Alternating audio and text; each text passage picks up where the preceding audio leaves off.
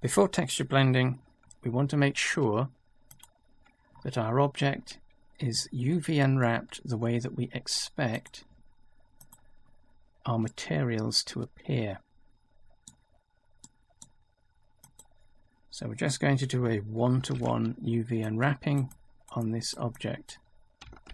So once we've got all of that sorted out, so depending on the object, that's obviously going to differ.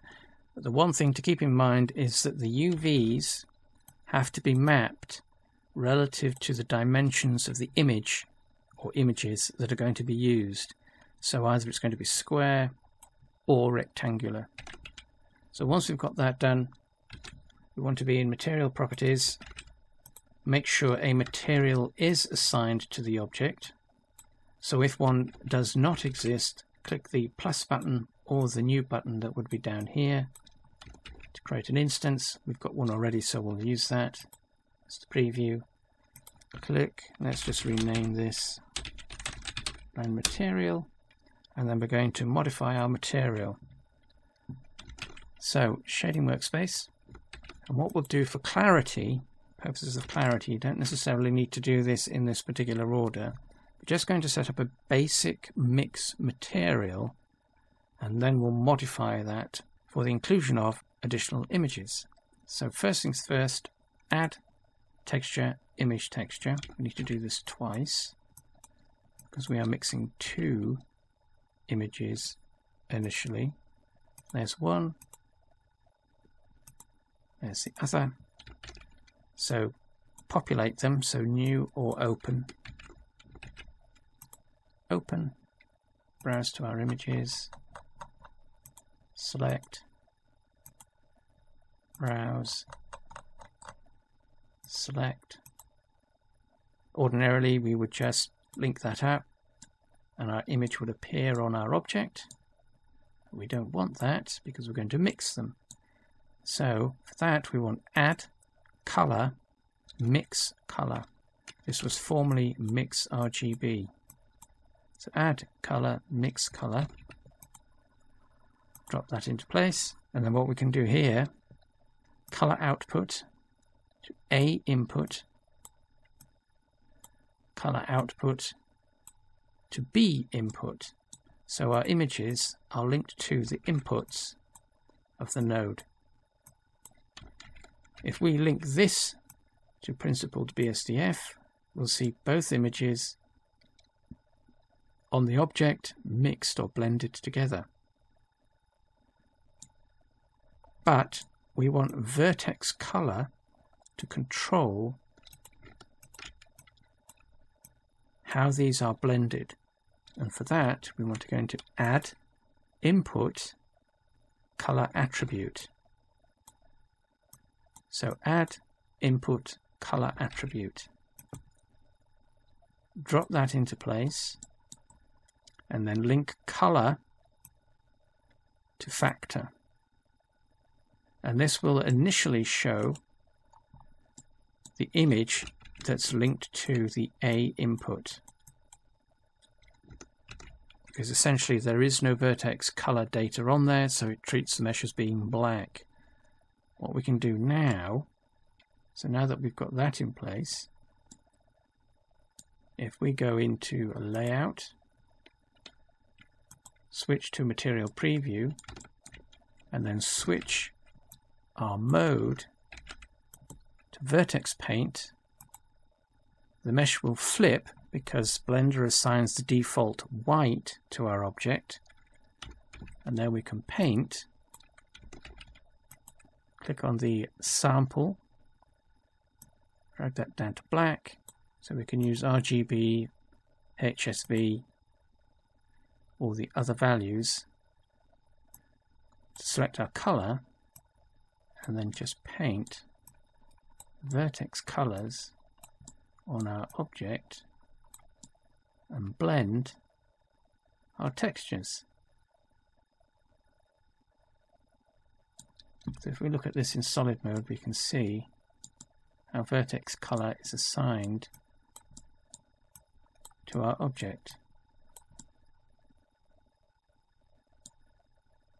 So that's basic texture blending using vertex colors. To add more textures, more images, we want to go back into shading workspace. So let's make a bit more room. We need to add two more images. Add texture, image texture. So it's image 3. We can have up to four images. So texture, image 4. Same again, load in our images. Number 3. Number 4.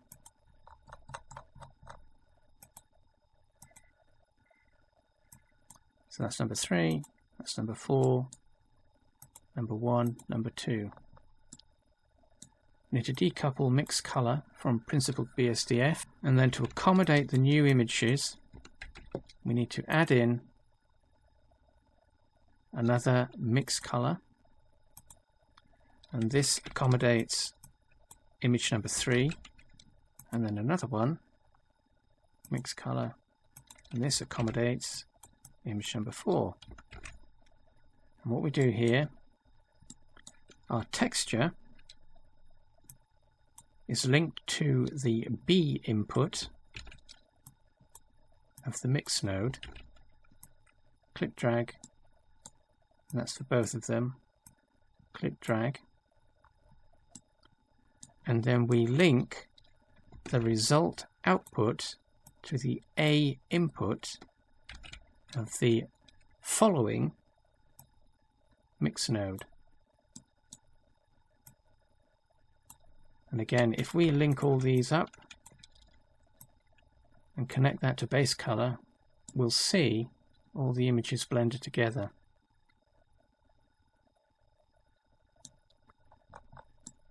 Now to paint the vertices, the colors that we need to blend in these additional images with the originals, we need to add in add converter separate color. This was formerly separate RGB, so add converter separate color. This will drop in this node.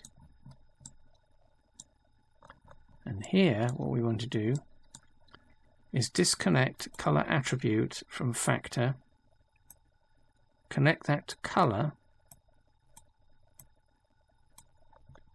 and then we connect the different outputs, the red, green and blue output from our node to the factor input of each of the mixed color nodes. And we can do these in any order. So let's just make this easier to see. So blue, green, red. Let's go into full screen. Make this a little easier to see.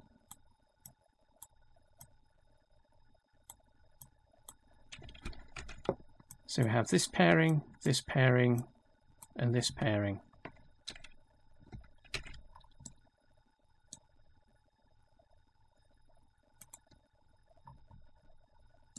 And what this will allow us to do is we can see that we've already got some color previously assigned and that's showing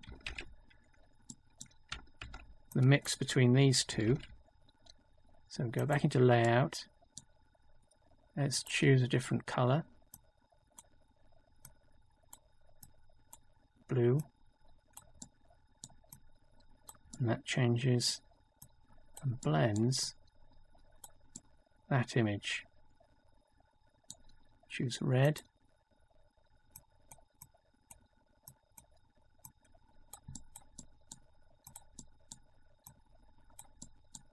That blends in the rhomboid.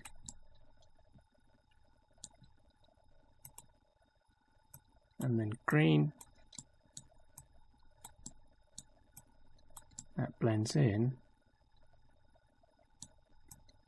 Triangle.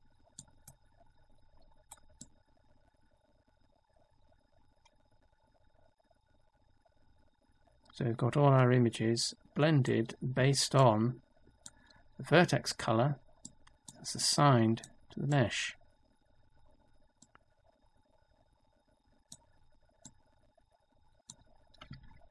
So that's